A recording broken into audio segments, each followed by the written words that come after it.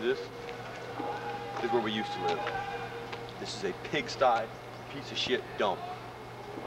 I lived in a six to sometimes seven man room up there that wasn't fit for two men. You was never in a seven man room. Yes, I was. We had seven guys in there one time. We had seven in mine. That's my old room right there. Right there in the corner. I used to live in that one over there. Right there. This place, this place just does something to me around here. I don't like it here. There's a Humvee. I was driving with them yesterday. I drove it back from Casey.